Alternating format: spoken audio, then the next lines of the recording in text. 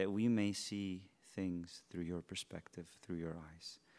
We pray that we would be filled with uh, Jesus and that we would just be focused on you, O Jesus, and just meditate on how beautiful you are and the amazing work you've done for us and your love for us that you demonstrated on the cross.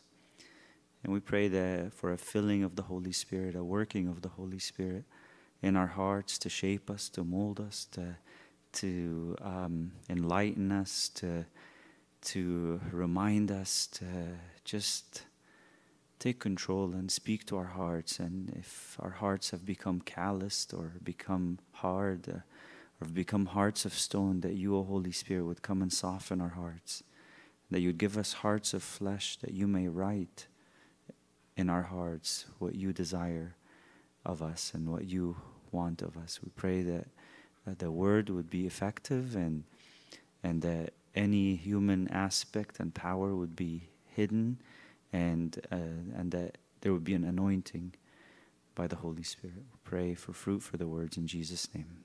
Amen. So last week we studied uh, Colossians 1, verse 24. So tonight we will start with verse 25. So it says, Of which I became a minister. Now, you, are you guys all on board now? Everyone understands? What a way to start a sentence. Of which I became a minister. What's he talking about? Is anyone lost with me? Are you lost? Raise your hand. Be brave.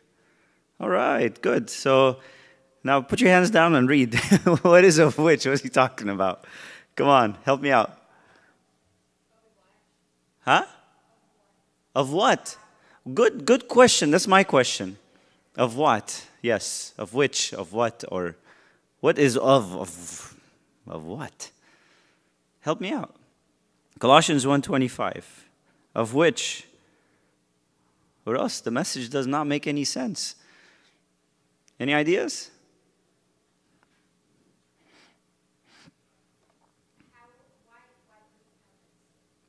Why did he become a minister? Yeah. But what is he a minister of? Of which I became a minister? The gospel. Okay? Who agrees with Susan? She wants people to agree. okay, Nicole agrees by force. Okay, anyone else agrees without uh, feeling, feeling the pressure, Susan's pressure? Okay, you guys agree?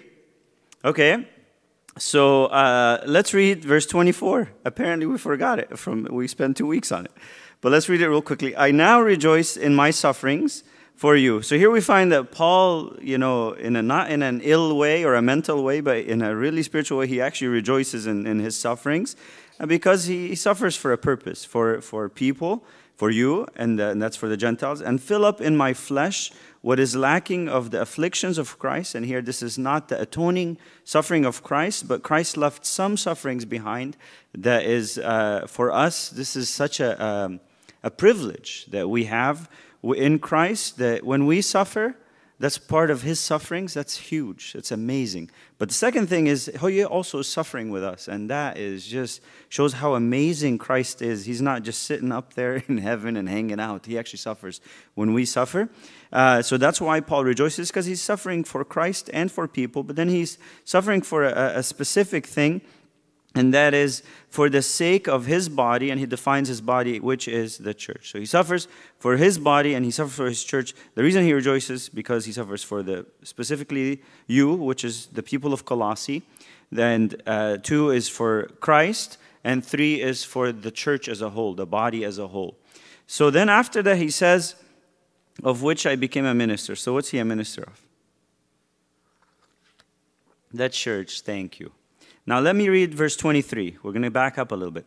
If indeed you continue in the faith, grounded and steadfast, and are not moved away from the hope of the gospel which you heard, which was preached to every creature under heaven, of which I, Paul, became a minister. What's he a minister of? In that verse. The gospel. Thank you. So this one is the gospel, this one is the church. Is it the same thing or different?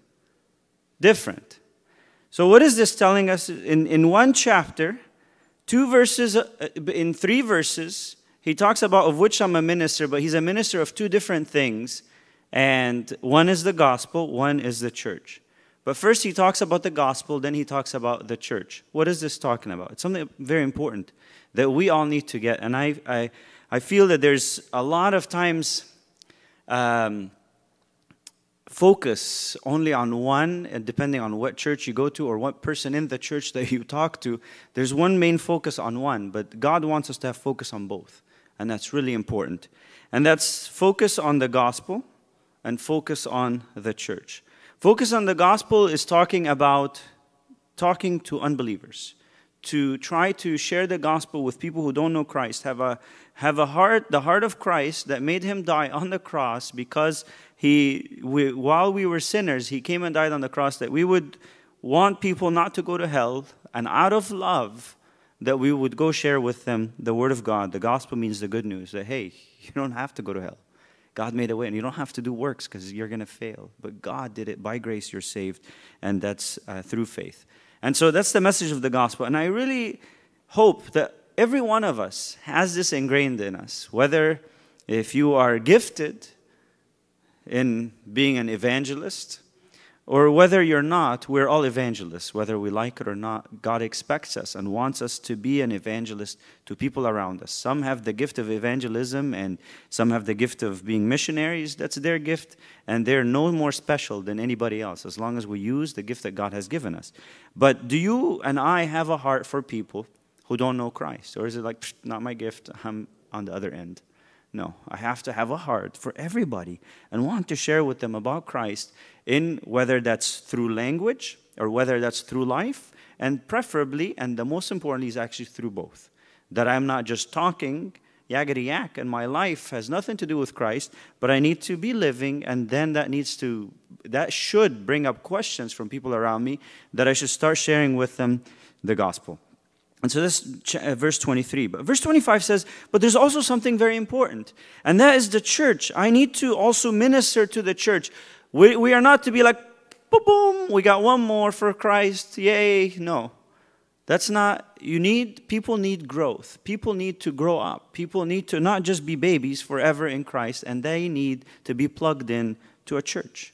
They need to be plugged in in a body, in a place, a Bible study, somewhere where they have accountability, where they have someone that cares for them and tries to teach them the Word of God, and, and where they grow, where they get the teachings of the Word of God. And so that's what Paul is saying here, of which I became a minister.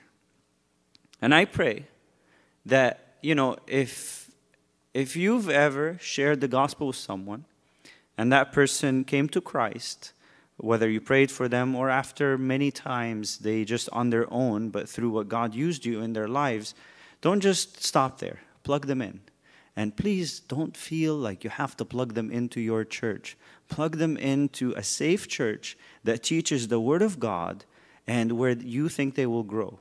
All of us will grow better in different places. And so just plug them in to, don't be stuck to a place be stuck to Jesus, okay?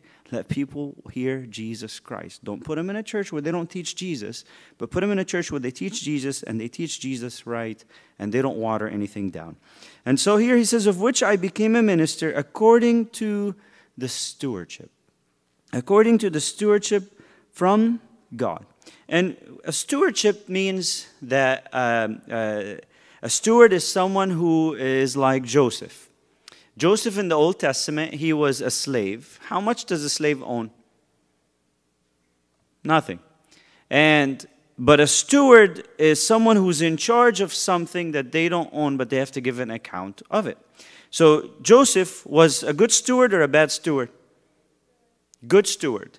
And that's why his, his master, the Potiphar, when he saw him, he's like, man, something there's something, something about this guy. Well, he didn't say that, but he said, man, there's something really special about this guy.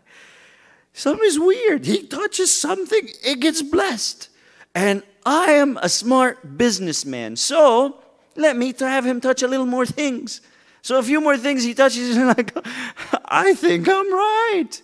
this guy keeps everything he touches keeps blessing. He's like, you know what? Let me have him touch a little few more things.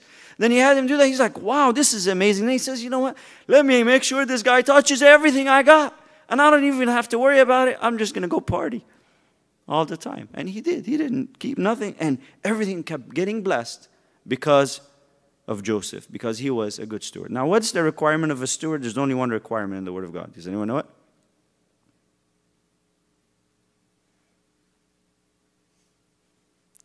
All right. Well, since you're all going to rush at it, let's open up 1 Corinthians chapter 4. Moreover, it is required in stewards. Oh, wait, that's what we're talking about. All right, good. Let's pay attention. Moreover, it is required in stewards that one be found faithful. So it's a prerequisite. You don't have this requirement, you don't go to that class, you don't become this person. So to be faithful in what you do. So here Paul is in Colossians 1 verse 25 says, "Of which I became a minister." So you became a minister of the church. So his now his ministry, so his ministry he has two ministries.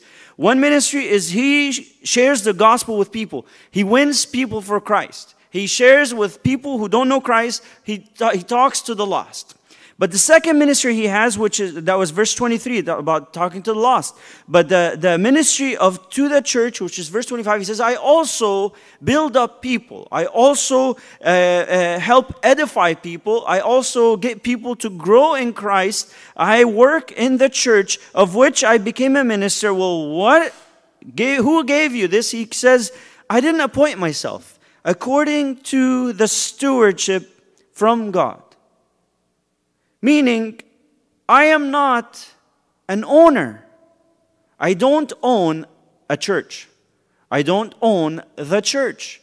But God, in His grace, found me, Paul, to be a steward. He says, You don't own anything, but you're in charge of this. And remember, it is required of a steward to be what? Faithful. Wow, all right, good. We still remember it from two minutes ago. Faithful to be faithful. So he says, So I have the stewardship from God, which was given to me for you, you Colossians.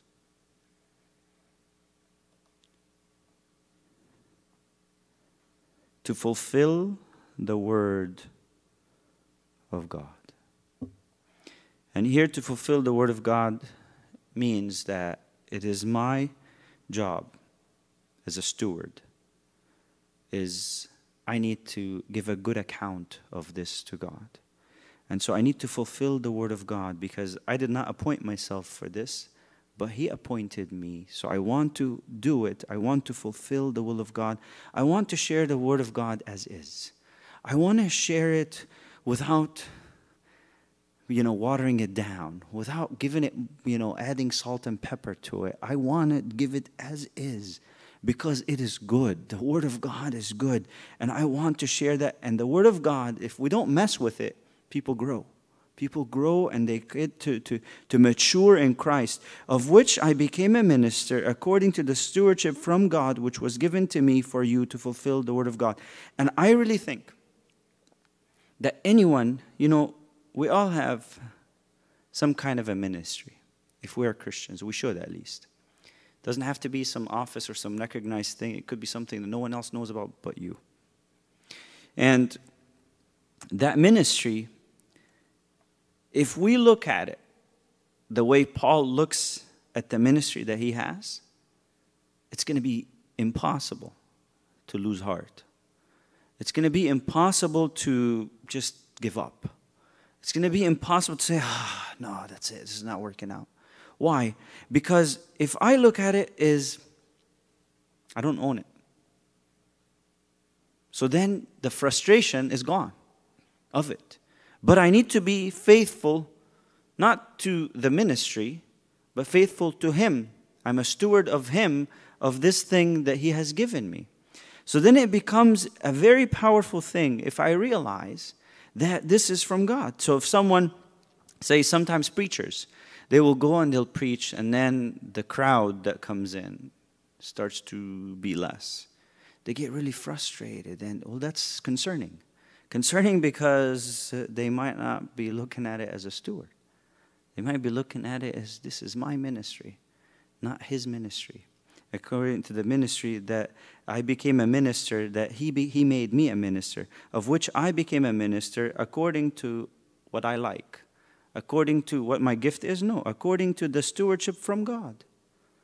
And so if someone is frustrated in whatever ministry that they're in, there's an important thing to do is to pause, stand, and ask the Lord, did I, did you get me here? Or did I get myself here?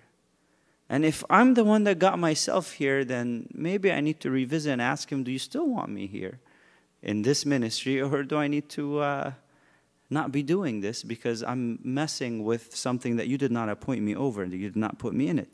Of which I became a minister according to the stewardship from God, which was given to me for you to fulfill the word of God. And then we find that when we look at it as a stewardship, we find this energy that keeps coming in the energy that makes me feel like, wow, man, I, I, I'm not in charge, but you know, I want to fulfill the word of God. I don't want to do part of it. I want to fulfill it. I want to do it as is, just like He wanted me to do it. I want to make Him proud. I want to just excite God. I want to make God really pleased with the way it's done, that it's done right about Him for His glory. Then he goes into verse 26, the mystery. The mystery which has been hidden from ages and from generations, but now has been revealed to his saints. So, a mystery, you know, nowadays we think of it as like, ooh, spooky. That's not what it is at all. Mystery in the Word of God, it talks about a secret. It's a spiritual secret. It's something uh, so holy, so amazing that any human, no matter how clever they are and how smart they are, and you know they try all their best to think and do you know whatever and be creative they could never figure it out. It could only be figured out through the holy spirit causing an enlightenment within that we can understand it. And he the, the holy spirit enlightened many people about this mystery but specifically the most important that was enlightened about this is paul. And uh, many others you know they know it and they know this mystery not just paul but some resisted it. For example, Peter resisted this mystery. So let's say, what is this mystery that he's talking about? So the mystery that he's talking about, basically, very simply, it's something that, um, again, was not known till the New Testament. So in the Old Testament, this did not exist, was not known in the Old Testament. And that is that the church, the church is a new concept. The church was born in the day of Pentecost in Acts chapter 2, when the Holy Spirit was given, that's when the church was born. So uh, it is my personal belief, but it's just a sim- my simple belief, some disagree, that it is very difficult to uh, speak about something in the Old Testament and say that's the church, because it didn't exist. The church existed in the New Testament in, Col- in Acts chapter 2. It's okay to take symbolic lessons and things like that, um, and uh, uh, so, but I like to look at it as a relationship of believers with uh, God when I, when I learn things from the Old Testament rather than generalizing it to the church because the church was born. And, but that's semantics, it's not a big deal. Uh, but just, you know, here he's talking about a mystery, and this mystery was what was hidden from ages. So it's talking about, oh, a long time ago. It's hidden. No one could figure it out. Oh, and from generation uh, and from generations. Lots of generations passed, nothing until that time. But now, at that time, voila, it has been revealed to his saints. And only the people can get this are the believers. So, what is it? The church. What is the church? The church is that Gentiles and Jews are one who believe in Christ, who are saved, are one in the church and the body of Christ. It's huge. It's an amazing mystery that would have never thought of. Now, the mystery is not that an, an, a Gentile is saved, because is that something not known in the Old Testament? Can anyone name any Gentiles that were saved in the Old Testament?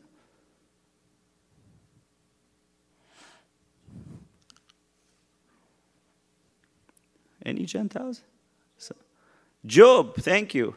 Job is one Gentile, but there's lots of Gentiles that became saved. And so it's not a new mystery that Gentiles are saved, but it's a new mystery that Gentiles and Jews are equal in Christ and they, they share the glory and they are part of one body.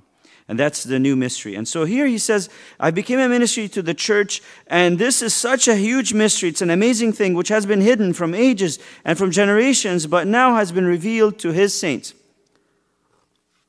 To them, God willed to make known, so the saints, to them God willed to make known what are the riches of the glory of this mystery among the Gentiles? And here he's focusing on the Gentiles. Why? Because, you know, I mean, it's really a huge thing to ever think of. I mean, I don't know if you've ever thought about this, but, well, let's, let's talk about the specific thing he's talking about in the mystery, which is Christ in you, the hope of glory. Where's Christ? In us. Wow. Is that like a big deal? Okay? Forget everybody else, okay? I know you're like the biggest saint on the planet. Like, we're all saints if we're believers, but I know you're like, you know, you think you're the best in the West, you know? So, but if you really look in the mirror, like honestly, okay, in front of God, and um, just think about it, look at yourself, think of your life, and look, hmm, Christ. You know who's Christ, right? He's God, okay? Is living in me. Yeah, you, if you're a believer. I mean, is that like huge or like, I deserve it? I mean, like, have you seen the way I look? So nice. I'm so pretty. I'm so handsome. I mean, where else would he live? I mean, right? Who really would? I mean, okay, fine. Go to Hebrews chapter 12, the last verse. It says, Our God is a consuming fire. You know what consuming fire means? Like, it's gone. Whatever it is, it doesn't exist anymore.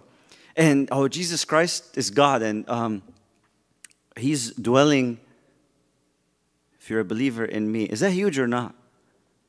It's huge. It's really, really huge. Now, to think of, the Jews have this little thing on their head, you know, they think they're so uh, special that you know, like, okay, you know, I mean, it's really a big deal, but, you know, God dwelling in me, you know, I am a Jew after all. Okay, they have a little thing like that. I told you guys one time I was, you know, standing and uh, getting, trying to get an elevator, and this guy, a Jewish guy, who's a Messianic Jew, meaning he's a believer, a Christian, he's, so he's part of the church. So pressed the elevator, the door opened, and and uh, some of you have heard this before. So anyway, so I was like, please go ahead. And he says, no, please go ahead. I said, no, no, I insist. He says, no, I insist. And he says, oh, okay, fine. I'll go Jew first, then Gentile, like in Romans. And I was like, I gotta sock you, man. What's up with that? It's just messed up. It made me mad. I wanted to tell him, come out and let me go first. I'm just kidding, no. but I was like, touche. That's a good one. So, um, but can you imagine a Gentile? Gentile. That's us, okay? No one here is a Jew. No one here is that special. But a Gentile, Christ, God, dwelling in me. You know, we missed this because we were not like the people of Colossae who had nothing. We grew up in Christian families. We've heard about Christ. It's like, yeah, yeah, yeah. It doesn't, it's not huge to us because we don't understand the amazing thing of it. But Paul understands. And that's why he says here, to them God willed to make known what are the riches of the glory of the mystery among the Gentiles. So, the mystery, is it huge or not? Huge or not? Yes. Are you convinced or not? Christ is living in you. That's amazing, okay? Oh, so here he doesn't say it's just a mystery. Oh, he says, no, no. The glory of this mystery. Meaning Christians start getting excited about Christ living in you. This is a huge thing.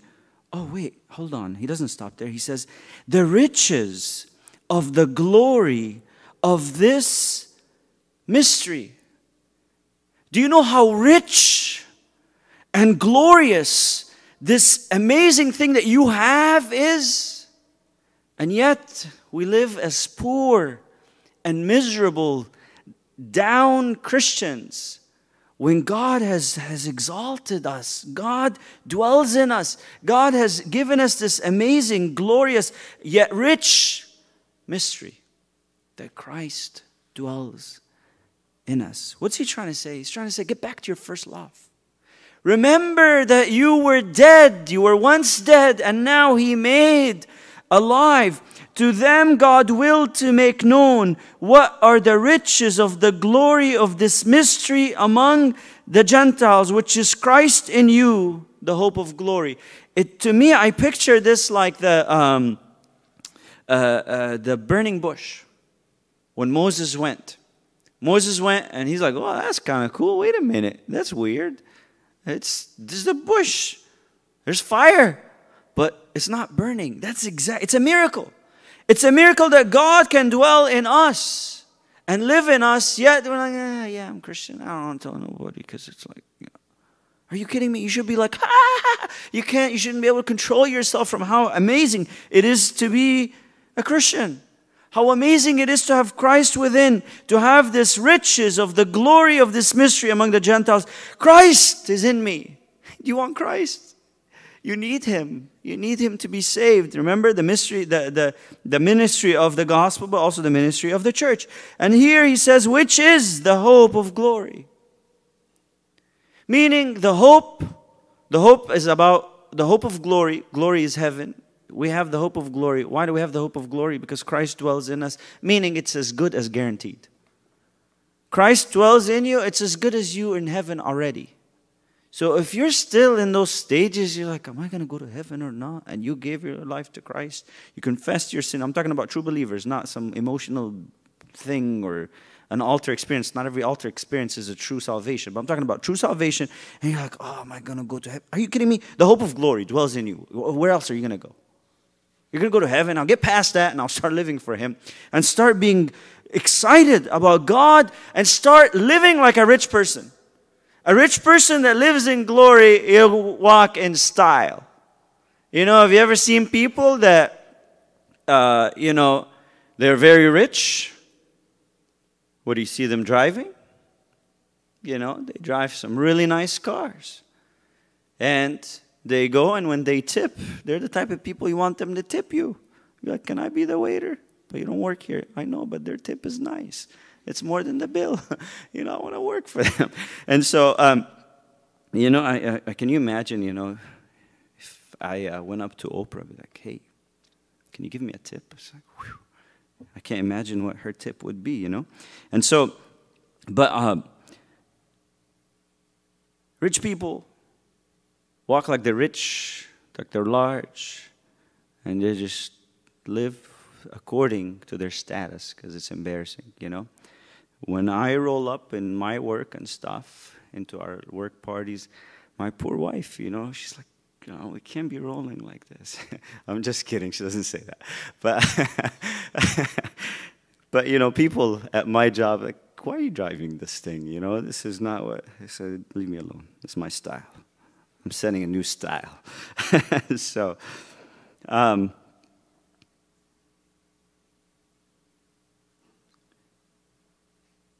But I tell you guys, as Christians, we don't walk in style as we should as Christians. I'm telling you, we are not to claim and sing songs about, I'm not ashamed of the gospel. No, we are to live a life of, we are not ashamed of the gospel. I'm not ashamed. I have nothing to hide. I have nothing to be wishy washy about because I have the riches of the glory of the mystery Christ Himself. Even though I'm unworthy, He lives in me. And that's why I can come to you and speak to you about His love for you. That's why I don't care if you ridicule me because I'm rich. I don't care what you have to say about me. You know, the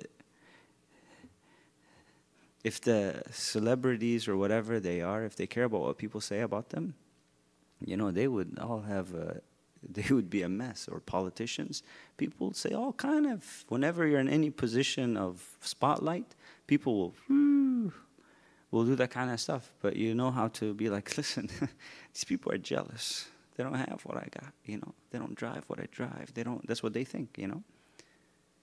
But the thing is, we're not to be ashamed, we're not to be upset, we're not to be because we have Christ in us. And if we have him in us and his good pleasure that he's pleased with us, nothing else matters. It doesn't matter what people think of us. It doesn't matter what people call us. But what matters is that we live that rich life, the life of the riches of the glory of this mystery among the Gentiles, which is Christ in you, the hope of glory. Him we preach. And I love this because if you look at 2 Corinthians chapter 4, verse 5. Paul also writes, and he says, For we do not preach ourselves. What do you preach? But Christ, Jesus, the Lord. And ourselves, here's what we are your bond servants for Jesus' sake. We're here to serve you for his sake. But when I talk, when I preach, Paul says, I'm going to share with you a person. I'm going to share with you about Jesus Christ. I'm not here to tell you about me and my stories and how cool I am or whatever. It's not, it doesn't matter. But I preach to you Jesus Christ. In Colossians 1, verse 28 says, Him we preach. I'm not here to preach politics. I'm not here to preach what's the latest news about whatever. I'm not here to preach about me. I'm not here to make you a follower of me. I'm here to tell you about a person. I'm here to tell you about Jesus. And that's what preaching should be about. It should be about a person. It should be about Jesus. We shouldn't get so caught up in whatever is happening. Yes, there's messy things in the world and whatever. He's in control. God, you reign. We sang it. He reigns. Don't worry. Don't worry about it. He's in control. But preach Him. Focus on Him because when we focus on these little things, we're automatically not focusing on Him. We start to fall and fail and get preoccupied. But if we focus on Him and we preach Him as we pray, He may lead us to pray appropriately for these things that are happening, for people, for nations, for whatever He leads us as He sees fit. Him we preach. And preach here in the gospel in the in the Greek means that we are proclaiming the word with authority. Meaning I'm preaching Jesus with authority. I'm here to tell you about someone that's a big deal. About the best person ever. I'm here to talk to you about someone very special. I'm here to share with you about Jesus. And here we see Paul is doing three things in this verse. First is he's preaching, and he's not the only one preaching. He says, Him we preach. There's a bunch of us that preach. And I hope you start sharing Jesus with people.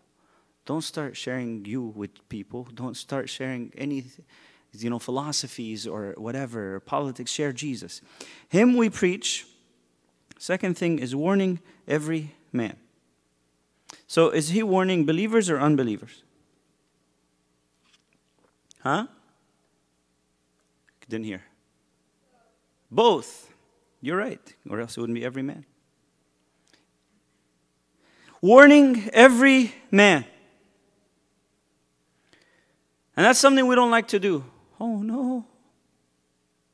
I need to be politically correct. I can't warn anybody. If they get mad at me. What if they? warning every man. If you open up Acts 20, verse 31. Therefore, watch and remember that for three years, he was talking to people of Ephesus, the elders of Ephesus, the pastors of Ephesus. Therefore, watch and remember that for three years I did not cease, I mean, I didn't stop to warn everyone. Whoa, every man. Oh, for how often? Didn't stop, so that cease.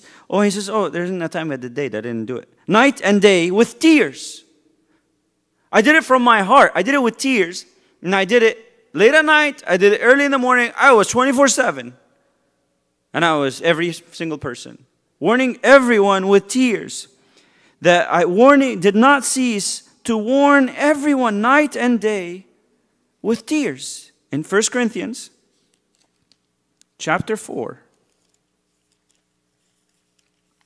Verse 14 I do not write these things to shame you. I'm not here to be like, aha, I caught you, sucker. You know, I'm not like that. I'm not here to shame you. Say, oh, shame on you. You're a terrible person. Aha, caught you in the act. Now I try to, oh, I got this to blackmail you, all right? You know, not like that. But as my beloved children, I love you. I'm not here. This is just between you and me. It's not going to go outside. I warn you. As beloved children, I warn you, unfortunately, we do things to shame people. Back to Colossians 1:28. Him we preach. I don't just speak with authority about a person, about Jesus, but I also warn, and I warn every man. But I don't just warn, I also teach every man. Teaching, you know, imagine, so here's what warning looks like. Let's pretend I'm the one warning and then I see you, you know, like doing something like, ah, dangerous. Okay. You go to the next thing. Oh, don't do that.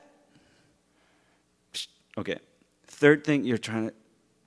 You're like, ah, brother, I, I fear this could put you, in, you know, in trouble. Okay. Next thing is like, not this one either. After a while, you're like, okay? But then that's why it can't stop at that. It says teaching every man. So we don't just warn of the negatives, of the possible bad impacts, but we also teach the Word of God. We also teach the positives. We also teach the truths of the Word of God. What do we have in Christ? What's our position in Christ? How awesome is Christ? And also, how do we act? How do we live? Not only what should we not do, well, okay, what do I do then? That's teaching. That he teaches us what to do, teaching. So teaching includes what do I do? How do I guide my life? What are the truths? What's the knowledge, biblical knowledge of what is it? Where am I? What's my position and what's my practice? I need to know both. If I don't know my position, I will have no, I won't be able to practice well. But if I only know how to practice and I don't have the, I need both. I need to be able to do both. And so here he says, Him we preach, warning every man. And this is sinners and Christians. We all, there's none of us that don't need any warning, okay? There's none of us perfect that don't mess up and don't make any mistakes. Warning every man and teaching every man. There's none of us that don't need to learn more about the Word of God, to learn more about Christ. Remember, we're preaching Him. Him we preach. Remember, that's why Paul says to know Him. He's not done learning. To know Him. Him we preach, warning every man and teaching every man in all wisdom. Very important. Not in occasional wisdom or in wisdom, no, in all wisdom. Because we can warn people, but not wise at all. And we cause a disaster. We can teach people, not wise at all, and we can cause a disaster. So please, if you or I feel like, hmm, I need to warn brother so and so or sister so and so, before you do the warning, put it through the check. Before you do anything, just while you're alone, just practice it. Say, okay, let me pass it through the wisdom uh, chamber. And if there's wisdom, go for it. If there isn't, but also, you know, make sure there's love. If there isn't, just keep it yourself, all right? Someone else will warn this person. But what we need to do is we need to do in all wisdom. You know, I love this verse in um, Proverbs chapter 25.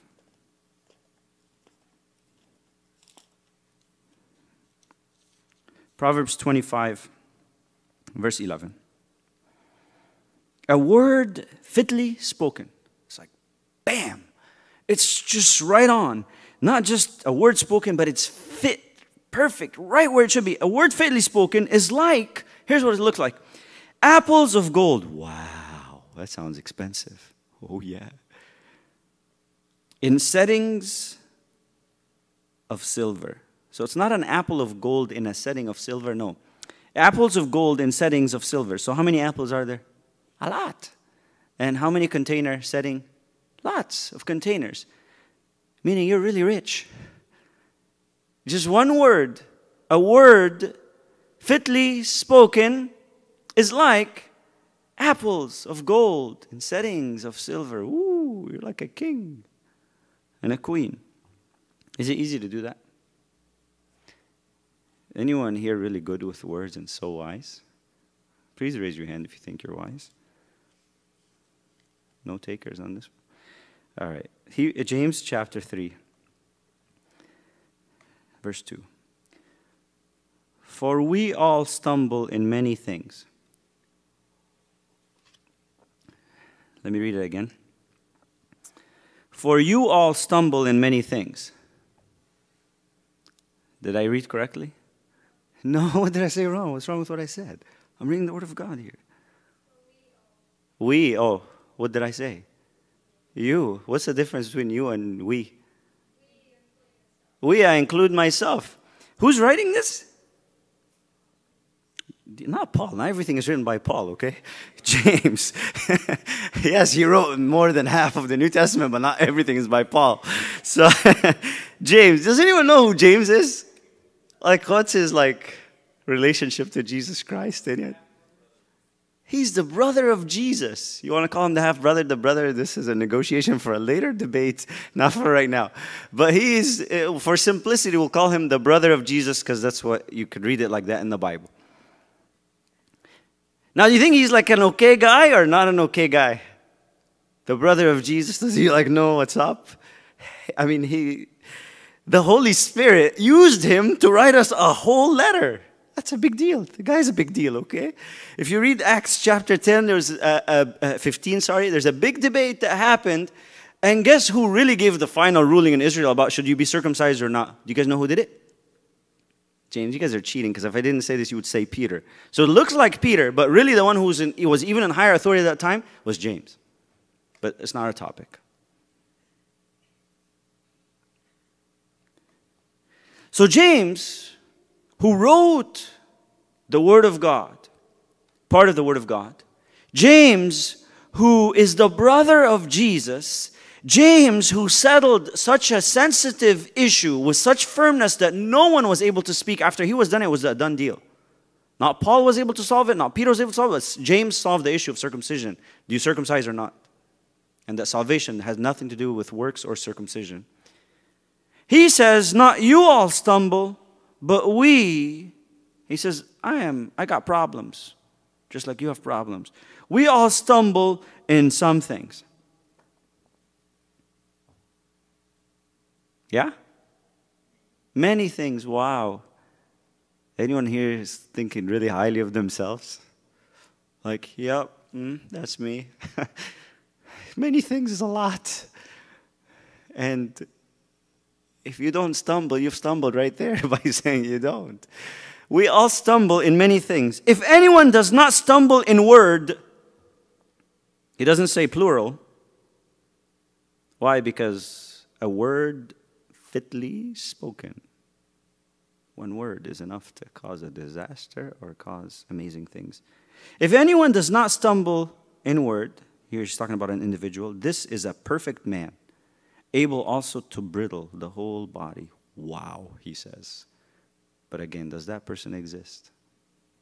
No. James is struggling with it. I'm telling you, it's hard to speak words. That's why, in you know, I didn't really want to get into this, but Gal- uh, Galatians chapter six, uh, verse 1 Brethren, if a man is overtaken in any trespass, you who are spiritual, restore. So here someone messed up, okay? Did something wrong. So what do they need? To be warned, right? Of what they've done and to be corrected. And to, you who are spiritual, restore such a one in a spirit of gentleness. Not everyone to go, and not the leaders to go, whoever is spiritual, okay? Doesn't say you have to have a title. You who are spiritual, restore such a one. You're going there not to be like, aha, finally I got something on you. No, I'm here to restore you. I'm here to bring you back to Christ. The purpose is not to, to, to, to put your head in the ground. The purpose is to bring your head out of the ground. To restore such a one. And make sure when you do it, don't say, I told you, I warned you a few times, and uh huh. No, do it in a spirit of gentleness. Be gentle. Why? Considering yourself, lest you also be tempted, because we all stumble in many things, and you are no better. If you think you can't stumble in that thing, you'll probably be the first one to stumble in it. Him we preach, Colossians 1:28, warning every man and teaching every man in all wisdom.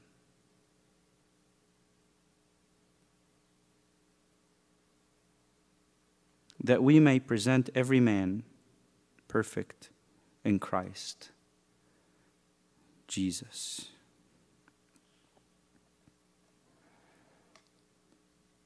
What's the purpose of your preaching, of your warning, of your teaching? He says, I'm not just doing it to do it. There's a purpose, there's a reason, there's an outcome that I'm hoping for. And that is to present every man perfect in Christ Jesus. The reason I do is because I love these people. And I want to present these people as a priest, and they are my sacrifice to Christ. In the Old Testament, you were not allowed to bring a sacrifice that's blind or a sacrifice that has an ailment. No, no. You have to bring a perfect animal to present to Christ. And here he says, I'm not, I don't want to just give a bunch of babies to Christ, but I want to bring perfect here means mature, fully mature people to Christ. And this shows that the motive behind of these three things, preaching, warning, and teaching, is a motive of love, and the desire is, I want you to be good. Actually, I want you to be better than anybody. I want you to be the best that you can be. I want you basically to reach the full potential that Christ has for you. With your the way you are and how God made you. I want you to reach that amazing potential. But have you guys noticed there's something repeated three times in this verse?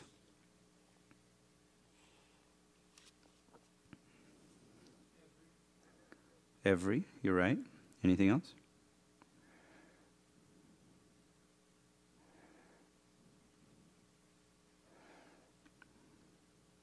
The word after it, man.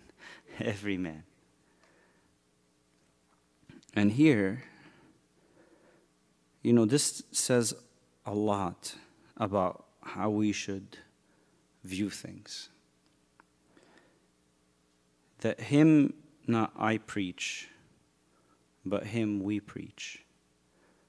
This is something that needs to be done by all of us. We need to speak about Jesus, share Jesus, proclaim Jesus boldly. All of us need to be doing that. But also, we need to warn every man. That's not, you know, we need to do it, yes, with, wis- with all wisdom. And we need to be teaching every man, yes, with all wisdom. Because, you know, we could do teaching without wisdom, right? Excuse me. You're so messed up. Let me just teach you how. Like, where do I start? You know, that's not wisdom. That's like destroying the person.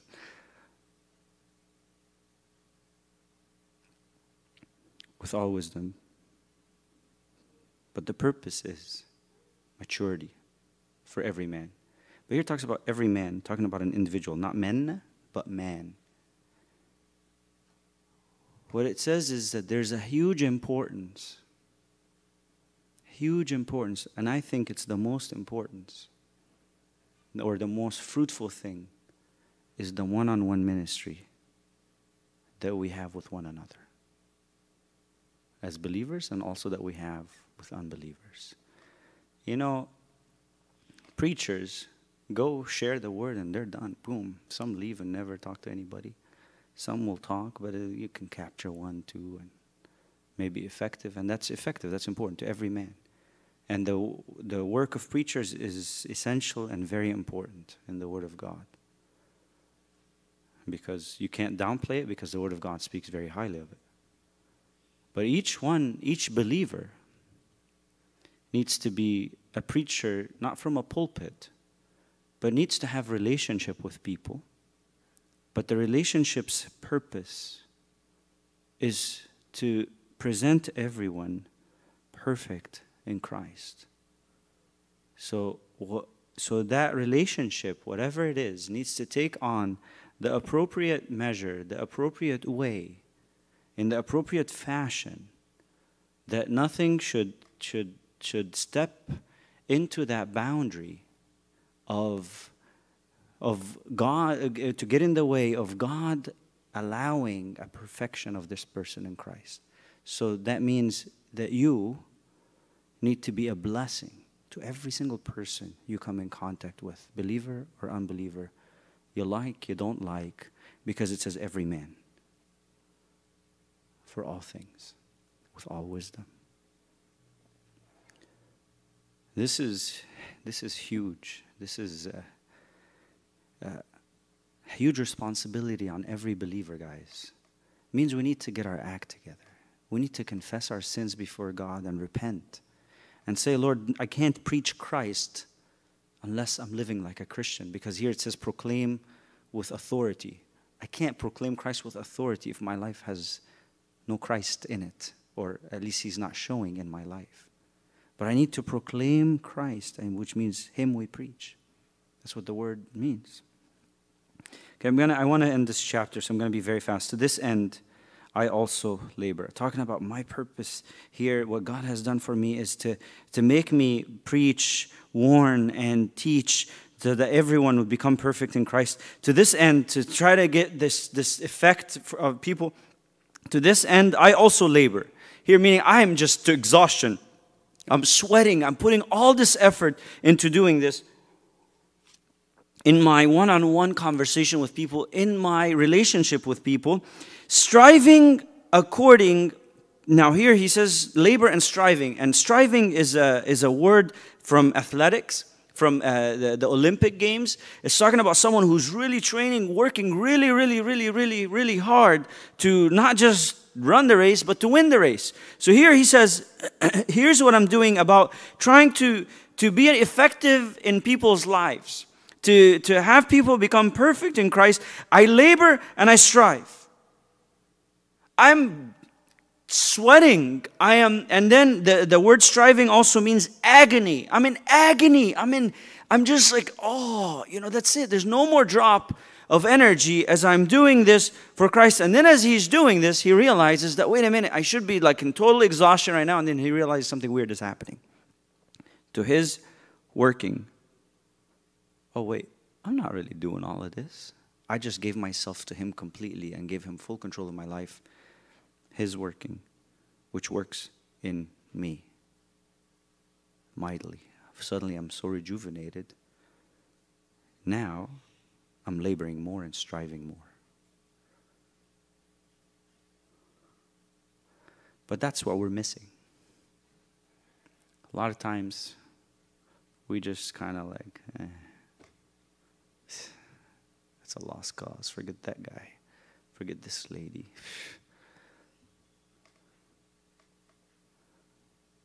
We don't labor, we don't strive. I tell you something. This is the truth. If anyone is still alive, Christian or non Christian, God hasn't given up on them yet. When that person dies, they're done. God is done with them. Good or bad, Christian or unchristian. When someone dies, God is done with them. Doesn't mean done with them in a bad way. God is done, was done with Paul, but he had a crown at the time of his death, the, the crown of righteousness. And that he had because he said, I fought the good fight, I finished the race, and I've done all these things the right way. And so he, when he went to die, God was done with him on earth. That's it. His time is done. Some people, they die because, as Christians, they die because they've done what God wanted them to do and they're done. Some Christians die because God is done with them, but not in a good way. They die under God's discipline, 1 Corinthians chapter 11. But unbelievers, every single unbeliever, when they die, God is totally done with them. All their chances are done. They're going to hell. So if someone is still alive and God has put you in their life, God wants us to, if we want to be good stewards, God wants us to labor, to strive. Purpose is to bring maturity in this person that I, or you, the believer, is a blessing to their life. Doing that through preaching, warning, and teaching. Some people say, verse 29, the labor and striving is talking about prayer. The way, because sometimes we just can't talk to anybody. Sometimes people have blocked us out, and maybe we, it's wise not to talk. But do I put effort in prayer, or it's these cold prayers that are like, hmm. Not talking about. I want to differentiate because a powerful prayer is not doesn't mean a prayer full of emotions and tears and crying. That could be an amazing, powerful prayer, but that could also be a just a worthless prayer. Just like a prayer that is spoken in a tone like someone is speaking could be a very powerful prayer, could be a worthless prayer. It's not an act, it's not an issue, it's not like, because some people get sometimes so caught up and so affected, oh, look at how they pray and cry, they must be, it doesn't mean they're fervent. And the same thing, the other, oh, look, oh, wow, that's a boring prayer meeting. That doesn't mean they're not fervent. And it's not either or, only God knows the stuff. But I'm talking about, like, is this like, do I really labor? God knows if you and I are laboring. We could be like, oh, Lord, please pray, you know, Iraq and, you know, Syria. And, and I, you know, I saw the blood. And, and I'm really crying because I saw the blood. I'm not traumatized by the blood, but I really don't care about what's happening. That's not prayer in, in whatever. That's you traumatized, needing help. I'm being honest because we prayer is so messed up. The Holy Spirit, He is to us as Christians, we are messed up about our idea of the Holy Spirit. We don't understand Him. But prayer also, and what effective prayer is, and answered prayer. Oh man, and don't get me. Answered prayer.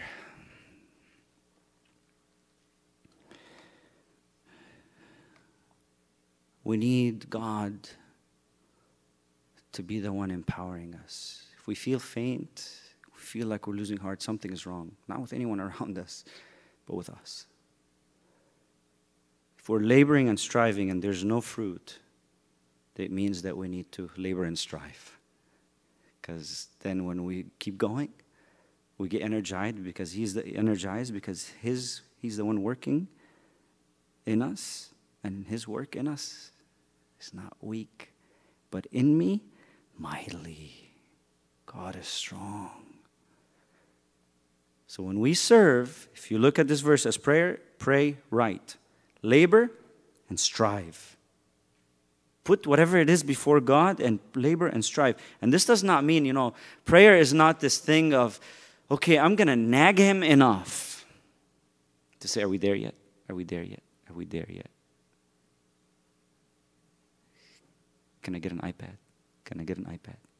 Can I get an like, just get an iPad? No, it's not. It's not to twist God's arm to just do our will. That's not right prayer. And you can keep trying, it's not going to work. Because He's God, He reigns, and He knows what's good for you and what's good for me. He just won't. He is going to be like, la, la, la, la, la. It's not going to. But prayer, when it's empowered by Him, when we have agony, and when we have, when we sweat, but not weak, not to the point of weak, but continuing to be empowered by God, is a prayer that's in the Holy Spirit because He's the one working in us. that is according to the will of God, and it will happen. Read John chapter 8 if you want to know how to pray right. And every prayer, boom, answered. John chapter 8 talks about how the disciples should pray. Talking about real disciple. Like, not every Christian is a disciple. We pray in His will and powerful. But if we talk about it as serving God and serving God through our relationship with people, I need to, my, not me, you, us, I need as a believer to not give up on people, to just continue to labor and strive and keep doing that with persistence. The method is known preaching Jesus, warning, and teaching. If I find that all I'm doing is warning, there's a problem there. If I find that all I'm doing is just teaching, you know, well, amen. But, you know, every one of us will need some warning. And uh, I just really pray that God will work in us to just give us that energy back. And that we need to be empowered by Him, to be able to preach Him to preach Him to others, to have ministry of whatever it is. You know, some people's ministry is that they are, is there, um, like for example, we were actually, it's kind of funny, we were talking about some of the stuff in the car with the kids. Um, you know, we're talking with one of our daughters that the parents' job, and that's a responsibility from God, my wife was sharing, that it's to discipline you and to warn you and to do things like that. And, and you know, if we don't do that, we're not doing our job right as parents. And then, um, and we were sharing, you know, that it's not just warning. There's warning. There's encouragement. There's all kind of, you know, kids do a lot of good things. So we need to encourage and say, yes, good job. And then there's some occasional bad decisions. Um, and uh, I like how my wife, I said sometimes a kid is being bad, and my wife says, no, they make bad decisions. And I like that word. That was the more proper word. And I said, yes, you make bad decisions because you're not bad. And then we have to warn, we have to discipline. And, um, and really, that's what we need to be doing, not, but not with just the, you know, our children, but wherever your ministry is. Your ministry may be your children. And the Bible admonishes, we were talking about this in the car too, admonishes mothers specifically that they need to raise their, if you read Timothy, that they need to raise their children in the Lord. A mother's ministry may be the children, to raise them up in God's fear, to know God. That both parents, maybe their ministry is that is the house. Maybe there's more than that. Maybe that's whatever it is. Don't say, oh, I have too little. No, I have too much. No, whatever God has given you is the perfect amount that is for you. You know, I really love and, and I, I learn a lot about when Moses um, came and complained.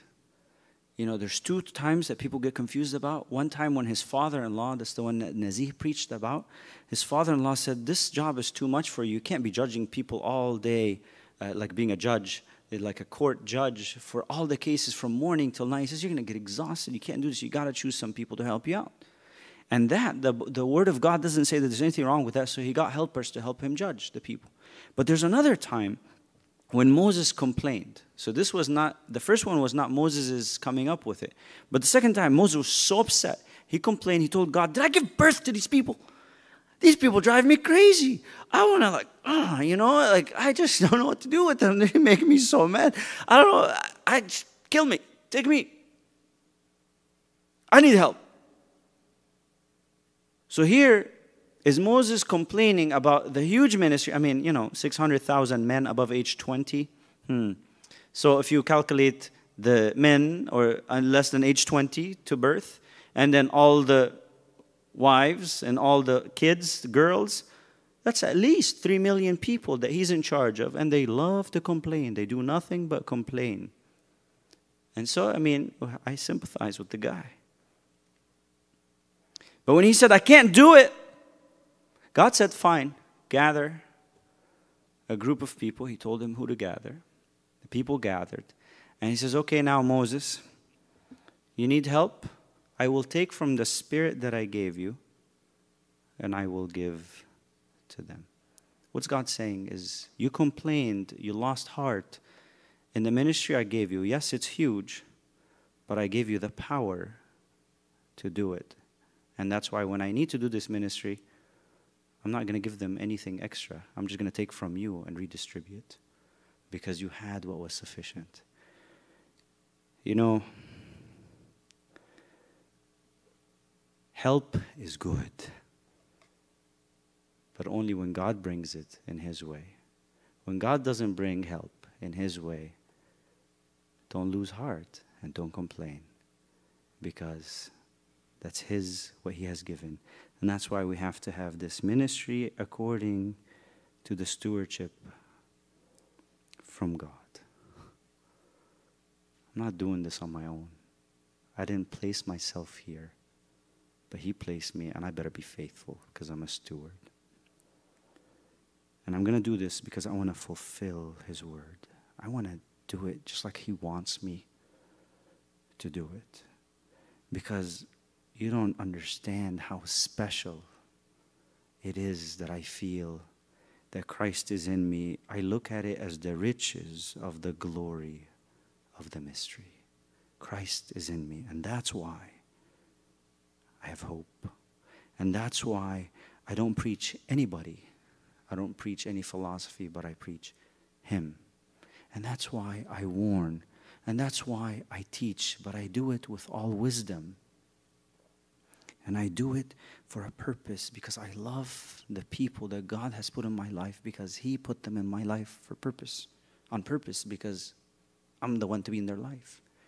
And I want them to be mature in Christ. I want to present them. I want to look at them that they are my responsibility. That I want to present them. That's what he feels here, right? That, that we may present every man perfect in Christ Jesus. And this is not the job of preachers or pastors. This is the job of every believer. That we, not me, not I. He says, Him, not I preach, but Him we preach. He says that we, not I, may present every man. That we may present every man. And then, as I'm doing this, I'm going to put all my all into it, not just shortchange things. I'm going to labor. I'm going to strive. I know it's hard, but I find myself so energized because He's working in me. And when He works in me, He works mightily. I really pray we just come before God. I, I wish we have time to spend in prayer and and to sing, but we took a little bit long. Let's just let's just meditate and think about what God has spoken and what's written in the Word. And if God has spoken to you about something, please just just ask Him for help. Maybe it's something that we need to confess. Maybe it's something we need to repent before God. Maybe it's, it's what we've been doing, it hasn't been fully from the heart, and we need to maybe start laboring and striving. Maybe it's an issue of we don't feel empowered. Then maybe we need to, to, to go before God and ask for His filling and His anointing. Maybe we need to go back to that first love of the excitement of realizing the riches of the glory that Christ dwells in us. Father, we thank you so much for this time that you've given us, and we are. What an amazing, what an amazing responsibility that you've given us. We are so unworthy, Father, yet you find, you see us differently. So we pray that we would live according to the calling by which we were called. I pray that we would preach the gospel, that we would share with the lost, but I also pray that we would preach that we would that we would serve the body, the church, to mature the believers, the, the, the new believers and, and the believers who have been believers for a while.